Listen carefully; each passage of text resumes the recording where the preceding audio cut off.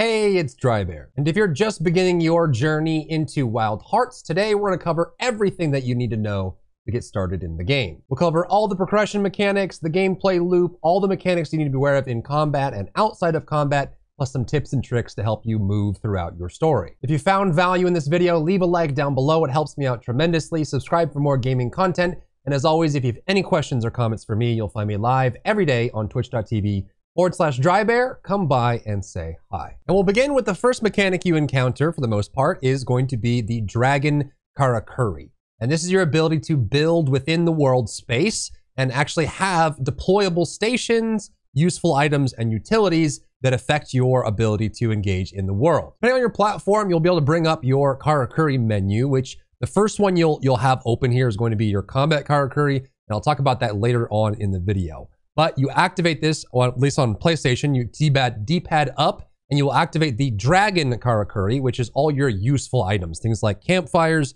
tents, workstations, drying racks, scouting towers, and zip lines, so on and so forth. Super useful for being able to interact with that, but there is a limit on how this system works. There are these pits all around, these dragon pits all around the map. You have to activate these and level them up to unlock more dragon pit capacity. You'll see that on the right side of the screen here. Each one of these categories are resources that will be utilized by your buildings that you're trying to create, and the required materials for these upgrades are shown down below. These are usually the crystals that come from that region, that map that you're on, like Mist Crystal, and then there's a specific crystal you get for hunts as the second resource. That's typically how those are leveled up. But you'll find these dragon pits all over the map. They'll start out just pink. And you look on the map, you'll see which ones you have claimed and which ones you haven't. They have this icon with the flame on top of it. You go to these and you'll use your resources to activate them and level them up. And you can level them up from the main menu, from the map as well, once you have them activated for the first time. The most important resource that you create with these is going to be your tent. You can only have a limited number of these and they do cost quite a lot to create. But once you create them and place them down, they will work as a fast travel location and a spawn point. You, they require less resources if you use them inside of a campsite, but if you put them anywhere, they'll cost more and you can still use them.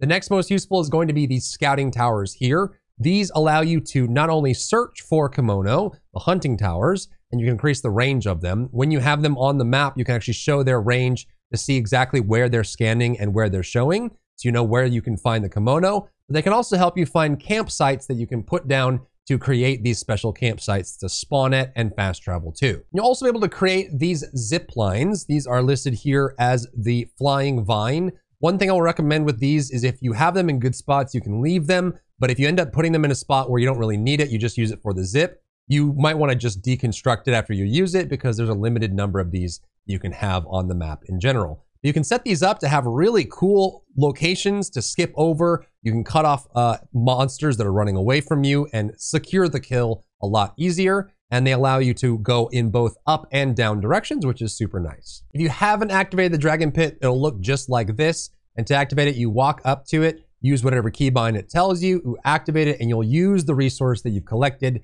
in order to activate it and get it leveled up. You'll find crystals for these in the area all over the place, but the biggest source of these is always going to be these carcasses that you'll find here. These always give you a large chunk of the crystals you need to upgrade your dragon pits. Now let's talk about gear. It's actually quite similar to many hunting games that you've played before. There's some cool new mechanics to be aware of. First of all, there are eight weapons in the game. I have a video going over all of them if you're looking for an overview. And if there's interest, comment down below if you'd like to see individual weapon guides for each of them.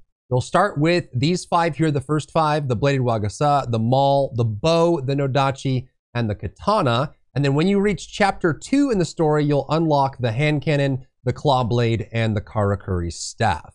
Each one of these is quite different from each other and they all have really cool mechanics. Now here's a super fast recap. The Karakuri Katana is a katana medium range, short range katana you build up charge, and then you transform it into a whip blade for added attacks and extra damage on top. Nodachi is a big hunk of metal, it has big sweeping attacks. You can charge it, and while you're charging it, you drain stamina to release a big attack. So you're managing swinging the weapon plus charging the weapon to get big hits. The bow is super cool. You'll mark the target with a certain kind of arrow, and then you'll detonate those arrows with a different kind of arrow. So you're switching between tagging the target with arrows and then detonating them. The Maul is a super fun weapon. It's a very slow hammer. You swing and hit, but if you use if you press active buttons for the special ability at just the right time, you'll be able to activate more and more abilities and engage with more combos. So it's more of a timing weapon. You want to activate just the right time, hitting those quick time events, and you can hit some really nasty hits. The Wagasa is the only weapon in the game that has a parry, but it hits really fast and has lots of mobility. Hand Cannon has a laser beam and a bunch of range shots, plus some modified abilities. The Claw Blade functions kind of like Attack on Titan. You can link in and grapple to a target and keep that grapple attached as you zoom around in the air and dive in for fast attacks. And lastly, the Karakuri staff is at its base a staff that has special weapon abilities that transform it into four other weapons, each one of those being stronger than the last. So if you want a really unique tech weapon, this is for you. When you craft a new weapon, it'll start out as its base form with no skills, uh, inherent skills in it, or inherited skills. What's cool about this process is that you can find different pathways to each versions of these weapons. You can see the name of them, the Saltree Maul, Saltree Maul 2. They all have different representations, different elements, and different weapon types. And what's cool is the pathway you take matters because when you upgrade a weapon, you will upgrade it to the new form. However, if it has an inherent skill and you transition to a new form, you will be able to keep the weapon inherent skills and inherit it to the next form. So while you can reach these nodes in different ways, the pathway you take will give you different skills that have different benefits, and you can make your own weapon from that process. They have different elements on them and weapon types, and you can see the weaknesses of the monster in the monster encyclopedia. When it comes to armor, you have armor sets that you pick up as you unlock more monsters and get more materials. Each one of the pieces has its own passive skills on it, stats and uh, resistances, plus required materials. But there's an added system in this game that doesn't really exist in others, which is super neat. Not only can you mix and match to make your own perfect set based on the skills that you want on the item itself, however, there is a leaning system. So if you look in the bottom middle of the screen, you can see how I'm either Kemono on the right or human on the left. And then at the top of the screen, you'll see these categories, human path modification and Kemono path modification. This is a modification system for each piece of gear so if you look at a piece of gear on the right side, you see how it says blaze recovery on there. That's the skill this, this item has. If you go to an item that has a, a leaning skill, like this one, you see this has verve, boost attack and defense when it max health. However, it has a human icon next to it. So in order to lock this skill, I need to do the human path modification on this piece of item. You actually get certain benefits and different bonuses as you mix and match the gear and modify them to lean them more monstrous or more human in their development, and you'll get new skills and combinations that are only available in that. And aside from that, you're just crafting the gear that you like, getting the stats that you want, making sure you get whatever you want that works, and putting it together in a really cool way. The next thing you want to be aware of is your talisman slots. You have your weapon and you have your five pieces of gear that you equip that all have their other pieces. But you also have your talisman slot here. So you'll be able to equip up to five of these that all have different passives on them and you'll find these in very many ways. You'll find them from completing hunts. You'll find them hidden in the world. There's secret caves you can unlock to col- collect talismans. You'll find those from special missions. So as you play the game, keep an eye out for more and more talismans, and then you can equip these to your character to get even more benefits. Next, let's talk about quests and farming, how you progress in the game, and how you collect materials to craft even better gear. First off, it is a hunting game, so to collect materials, you will be hunting monsters or Kemono of various sizes. There is an encyclopedia. If you open your main map menu, depending on what platform you're on, you can tab over to the uh, encyclopedia, which shows all the different creatures in the game and the resources that you can get. For the giant Kemono, these major monsters, you can tab through and select the one you want. You'll find their weaknesses, you'll find their uh, effectiveness and weapons, ailments, where the weak points are, and you can also discover what rewards you get for hunting. If there is a reward that specifically needs something to break or something to be severed, you'll see that marked with a special number on, on top of the icon here, and you'll be able to pick through that. Also, an added benefit, if you want to see them enraged, they added a, a cool feature here where you can see what they look like when they're enraged versus not, though it's pretty obvious, I think, when you see them in game. So if there's a specific resource you want from one of the monsters, the encyclopedia will tell you how to get that. Next is small Kemono. These have a special mechanic in this game that I haven't seen in any hunting game, and that is you can either slaughter these animals because they're minor Kemono, or you can sneak up on them and pet them. Each action will result in a different resource being gained. And you'll see that listed in the top right. The what the icon with the sword tells you what you get from killing it, and then the icon with the hand tells you what you get from petting it. In order to successfully pet a small Kemono, you do have to crouch and sneak up behind them, and then you'll get a prompt that shows up to either slay them or pet them. And depending on what resource item you need, you will then be able to get that item from that process. So if you're looking for something specific, check your small Kemono encyclopedia and see if you have to start petting them or you have to start killing them. And lastly are the small critters that go all over the areas. What's different about these is you're not trying to kill them, you're actually trying to catch them which is a little bit different. And some of these are actually quite big, like the crane here. You'll see the crane walking, and all you have to do is catch up to it and grab it uh, with your grab button, whatever platform you're on, and you'll be able to keep this uh, as a pet. So you actually collect it. I think for most of these, if you damage them too much, they'll vanish and die, and you can't collect them. So you do actually have to catch up to them and grab them, which can be annoying for some of them. Like the, the flamethrower bats are, are pretty rough because they fly pretty high but you do have to jump up and grab them as they're flying through the world. So be aware that you do have these jumping around. If they're critter sized, you have to run up and catch them and grab them. Quest wise, you can see all your quests from the map. Your main quest is this orange triangle, orange diamond that you see listed here. This is your main story progression. You also have these assignments that have this scroll icon. You'll have these all over the place. You just find the NPC that has it, collect it, and complete it. And then when you go to your main map, you can actually see when you have assignments to complete, you can go complete them, come back and turn them in. And then when your main story is somewhere, you can definitely uh, find that and do these exact same thing. If you find yourself in need of gold, there are items that just provide gold. They'll have this coin icon. They're a commodity. So if you collect these and you're running low on gold, be sure to stop by the shop, uh, which is this character right over here. And you'll be able to go to sell goods and you'll activate this and you can just sell these off and make a whole bunch of gold that way.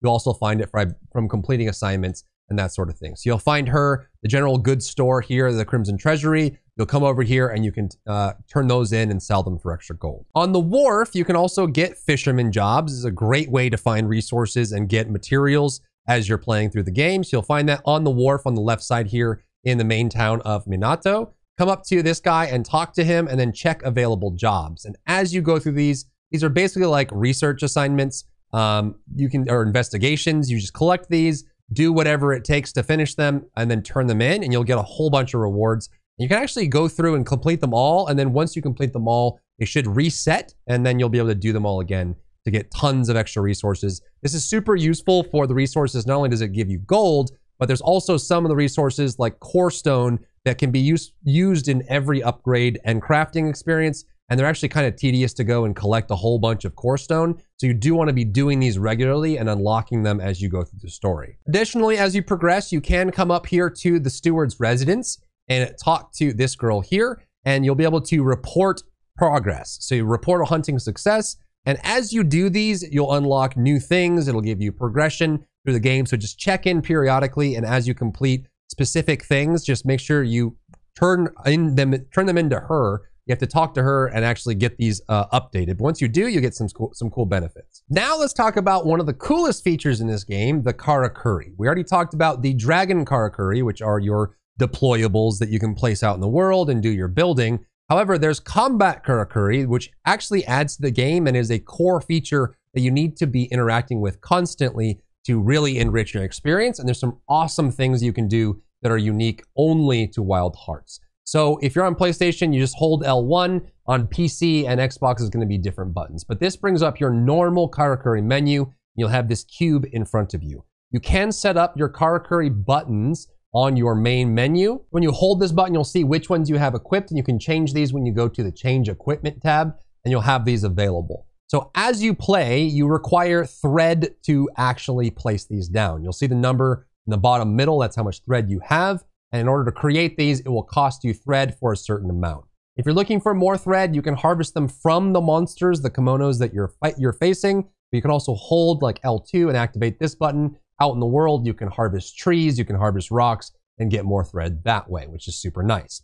There's a whole bunch of these to choose from, but you can only have four equipped at a time, and there's a lot to go through when it comes to this. The first ones you'll have is the cube. The cube is placed down just like this. You can stack them up higher if you want, And when you walk up to them, you'll climb them and you can jump off of them for an extra boost. This gives you really good new attack opportunities and it does give you special attacks as well. Each weapon has special attacks that you'll use when leaping off of one of these Karakuris. So in this case, when you're jumping off this and you use an active button, it will do a special attack that comes out of this. And they're actually super fast. You can do them while in combat, uh, activate them, and get some cool moves out of them. So the cube is one of the ones, the box is one of the ones that gets you upward lift. If you're looking for forward lift, you can use the spring. It looks like this. You can actually run into it and move forward. You actually do have some iframes from the spring as well. And so if you're about to get hit by an attack, you can aim it to the side and step on it and dash out of the way and resist taking damage as well. You can also put these on top of each other if you want, which makes a really flexible system.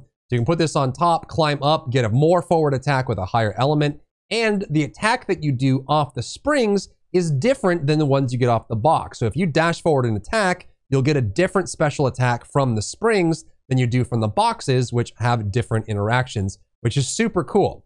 On top of that, the base ones that you'll get is you'll also get this torch, which you activate here. Um, this one you can actually just put down. But what's cool about this is when you run into this, so you see how I run into the spring box and it moves me forward. If you run into the torch, it will activate a special attack and add flame to the weapon that you have.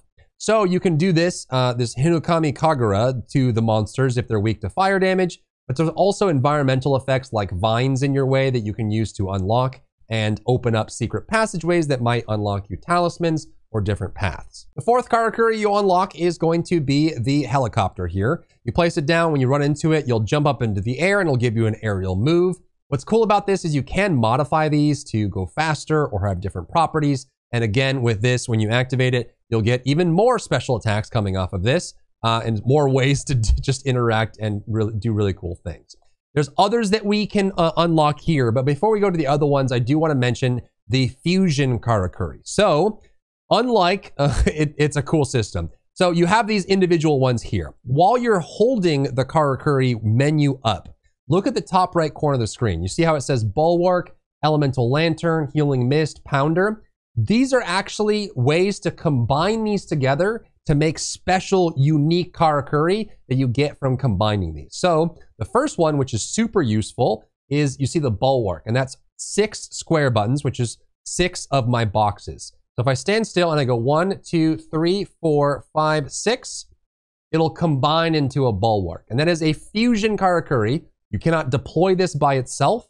You can only deploy these by combining the right Karakuri in one spot they have to be attached together and exist at the same time, and it'll auto combine. This is one of the first uh, fusion Karakuris you'll unlock in the story, and if any monster charges into these and hits it, they'll be knocked back and thrown onto the ground. So if there's like a big rush that's coming towards you, you can quickly spawn a bulwark on top of it, block it, it'll knock the enemy down, and then you can start punishing them. Super cool.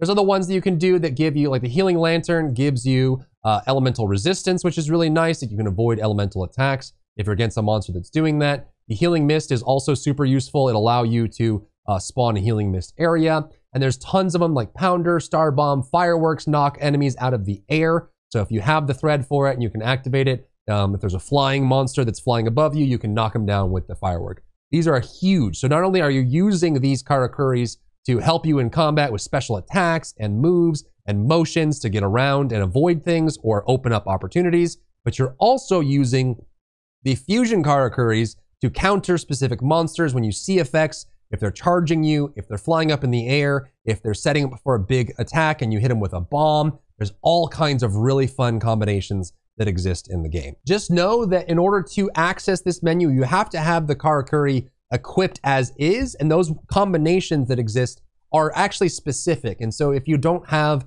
the box equipped, this one specifically here, you won't be able to make a bulwark because a bulwark is made out of six individual boxes. So it is actually a component system that you use with your loadout. So when you go to change your equipment, you can actually set up which Karakuri you want in what spot. And depending on the ones you choose, you can create different combinations that allow you to have the fusion Karakuri specifically. So if we switch it up and we get the stake here, the stake can be placed into walls and be used to climb things, but you can also uh, launch yourself and go out and attack and hit other mobs with that. But you can see that my combinations in the top right have changed. In order to get the fusion Karakuris, you have to hit inspiration, which means you have to have specific Karakuris equipped and you have to face a specific monster. And when you're engaged with that monster, your sound will deafen, you'll get a water drop sound, and a special QuickTime event will show up on screen. So if you're facing a monster and you have that special QuickTime event, that means you're unlocking a new fusion Karakuri that you didn't have before. Once you unlock it the first time, like you do it successfully, you'll have it for the rest of the game and you can just use whatever combination you need in order to create it. But in order to unlock it, you have to have a specific combination of them. You can find them online or you can find them in the story. Most of them you'll unlock uh, by being told to or being shown it as you're progressing through the story. The next thing to talk about is the progression system for the Karakuri, and that's your Karakuri tree. You can open up your menu and go over to the Karakuri tree here. And this is a very extensive list of ways you can modify. You can unlock new Karakuri, both Dragon Karakuri and Combat Karakuri. And you can also modify the ones that you already have. So this is super cool. I like this system a lot.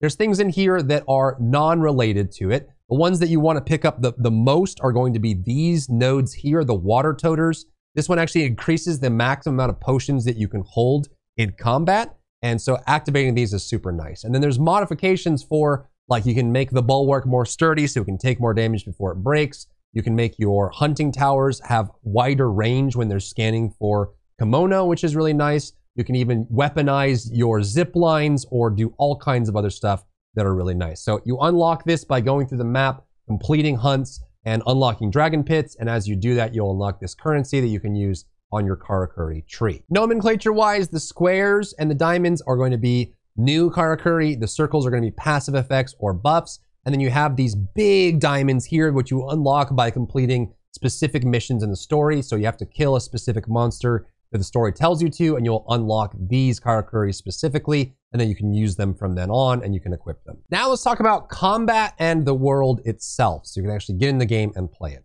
The first thing that's a really nice change from other uh, hunting games, you can actually start a mission for a specific Kemono directly from your map. So if you activate your map, you'll have this main map open. You can go to specific spots for assignments or quests. But if there's a specific Kemono that you need to kill for materials, you'll find that on the map itself. And you can go from all these different regions and look at it. But there actually is a toggle. So while you're looking at the map, you see in the bottom left the chapter listed. You actually can tab through these to get different modifications. So if you tab through to chapter one, you can get the first mobs that you have, chapter two, chapter three, and so on. And what's interesting is as you move through the chapters, you'll actually get new ed- new emergent versions of the Kemonos that you can face. But if you need a specific one from earlier on the story to unlock a new weapon or complete it, you'll want to actually tab back to the chapter and unlock it there. But again, once you find the thing you're looking for, you can complete these hunts just by finding the Kemono and activating it, and it'll take you right into the world. Now, once you're in the world, let's talk about combat and movement. We already talked about the Dragon Karakuri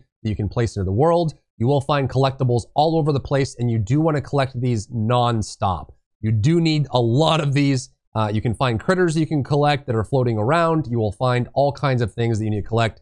Collect regularly because you will run out constantly uh, depending on how much you're crafting and upgrading. Once you take damage, you will heal through the water that you collect in the world. In the bottom left, you'll see how I can activate the top to actually drink a water and heal myself.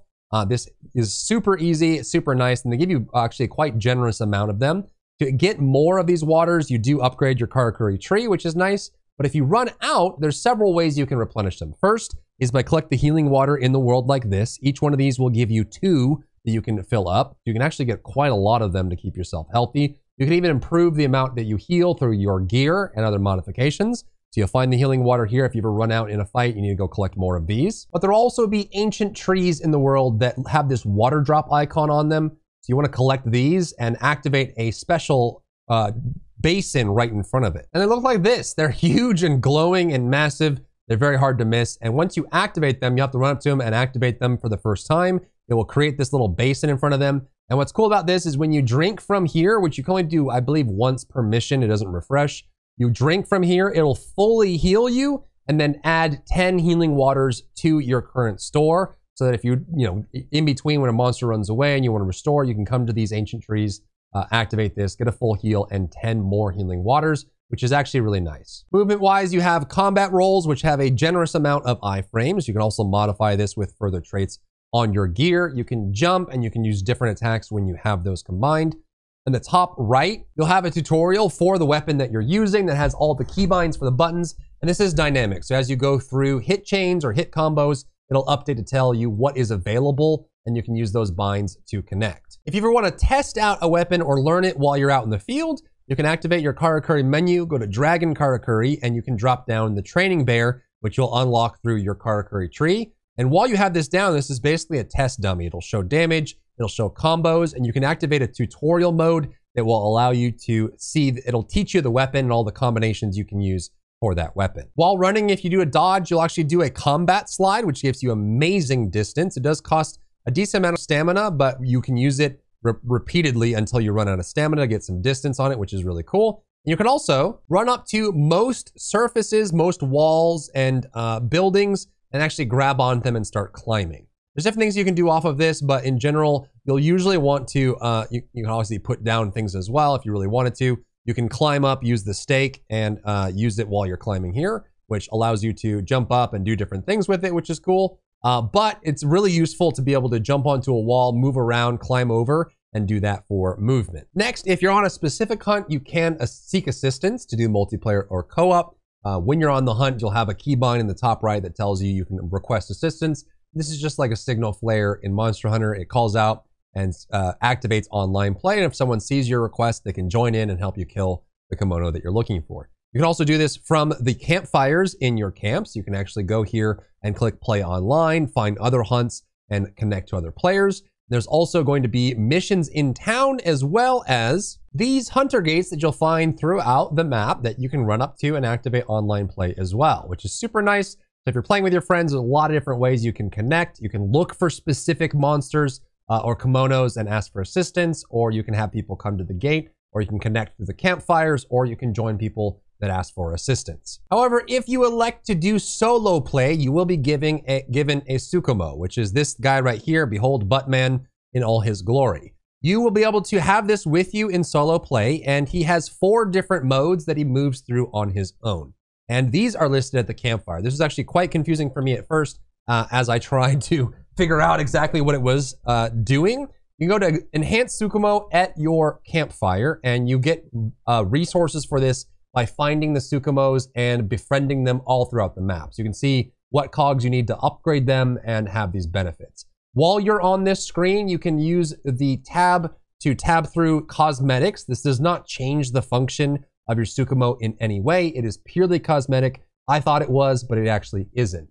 And on the left side, you can see that he has four different forms. Threader form, assist form, defense form, and attack form. You don't choose this ahead of time. The Tsukumo will naturally choose between those as it needs to during the combat, as it chooses and sees fit. So attack form will deal damage. Defense form will pull aggro and taunt this the uh, Kemono, pull it towards it, and take aggro. It'll assist form will heal, and then threader will help you get resources uh, like recharging threads and things like that. As you collect the Tsukumo in the world and get these cogs, you can then upgrade these forms. So when it's using that form, you'll enhance it. But you want to do this for two reasons. Not only does it make Buttman stronger so that you can use him in combat, it gives you better stats, it makes him a lot more useful in general. But as you continue to do it, like you can see right here, it increases the maximum thread that you can hold, which you use to craft Karakuri. So you want to be collecting these throughout the world, upgrading this as much as you can so that as you get through it, you unlock more thread count, which you can use to then create more Karakuri. So that is kind of the gameplay loop. And again, as you're running through the map, you'll see these guys just laying around um, and you'll have to kind of walk up to them and then activate them to befriend them. They'll show up in your campfire and be your friend. Uh, but as you collect them, you'll get more cogs. So look, look out for these in the world. you will hear a, spec- a special like bamboo chunking sound when you walk near one that might be around. So listen for that sound and then look for them so you can unlock more upgrades for your Tsukumo. The last thing I'll leave you with is a special mechanic that only exists inside of Wild Hearts. It's something that you really need to be aware of, and that is the glowing stems that exist on side of the monsters right now. So I'm here with this big boar, but when you see when I get close to his hind legs, you see parts of him that start to glow. And that means that underneath that is a special spot that you can damage and break open. And you want to do so because it allows you to get some really nice power ups as well as a fast way to get bonus threads while you're farming. So you can see how you, as I get close, it starts to glow. And when I damage it, it'll eventually break open. You can actually jump onto these and grab onto them and then charge your hunter's arm by reaching into it. It gives you thread and will also give you special buffs. There's even traits that exist in the game that won't work unless you have your hunter's arm powered up. So you have to do that by knowing that these exist, finding the spot, breaking it, grabbing onto it, which means that you can mount monsters in any way, and then you can just uh, suck out the details from them and use up all your Karakuri. So if you want to make a whole bunch of stuff, spend all your threads, then go to these special spots and harvest them for extra nice resources. And that's exactly what you want to do. So go in here, grab onto it, activate the hunter's arm. You'll suck out a bunch of energy, get this buff. You ever see these this rainbow color effect that exists on you? Uh, then you'll have a nice buff and some like strong arm spirit. You see how that activated? Certain traits may require the hunter's arm to be activated. This is a unique mechanic that I didn't understand at first. Uh, but once you can, you just grab it, pull it. It gives you a whole bunch of thread, uh, makes you even stronger, and you want to be aware of this uh, while you're playing the game because I certainly wasn't when I first started. And that's everything. That should get you all through all the new mechanics, the existing things that happen inside of uh, Wild Hearts. This game is absolutely awesome. I'm having a blast with it, and I hope you are too. And I hope that the performance issues get sorted out sh shortly so people can enjoy it. Uh, the people that are having struggles with connecting and keep in keeping things running properly. If you got value from this video, leave me a like down below. It helps me out tremendously. Subscribe for more gaming content. And as always, if you have any questions or comments for me or you want to hang out with me live, I'm live every single day on twitch.tv forward slash drybear. Come by and say hi. If you enjoyed yourself today, leave a like down below. You can support me and my work on Patreon and view Patreon exclusive content, link in the description. Thank you so much for tuning in, and I'll see you in the next one.